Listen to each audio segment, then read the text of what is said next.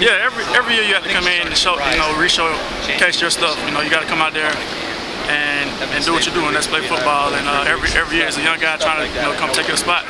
And this year it's kind of different because you know I'm, I'm the young guy trying to trying to come in and take somebody's spot. So you know I'm, I'm coming out here and work hard every day and just keep, keep proving to the coaches that you know I can be that that guy back there that can, they can depend on.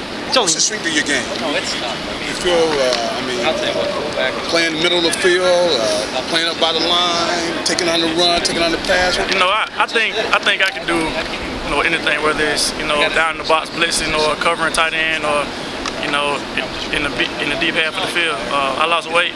I lost about 10 pounds so I can play either fr- strong or free, and um, I just continue to work. You know, things gonna pay out. How far do you feel like you have left to go? I mean, is- are you still kind of feeling your way through this thing, or Oh, definitely. I'm still I'm still learning defense. Definitely. Um, we really haven't installed the whole defense yet, so I'm still you know studying and trying to get everything down packed so I can be that player that I know I can be. You say you lost 10. You're supposed to be aggressive. I mean, do you have any idea? Have you blitzed before? Is that kind of a Yeah, we blitzed a little in Cleveland, but you know, not not like not like they do here. So I'm, I'm excited about that. So what did you lose today? You got down to what?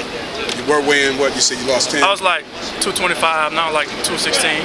So is that where you want to? Is that 215 like where you want to be? yeah, pretty much for the season. Is, is it weird? I mean, when you know when when you go to a team and start your career, out, uh, naturally you feel like you're going to be there a long time, and Right. you know, is it kind of weird to be in a new place and new teammates, new system, and Yeah. at this point in your career after being productive there? Yeah, it was, it's good. You know, I had a good five years in Cleveland. Um, I, I definitely learned a lot of stuff. But um, you know, I'm just taking what I learned out there and just apply it to you know here and just keep going, just try to keep, keep bet- better and better.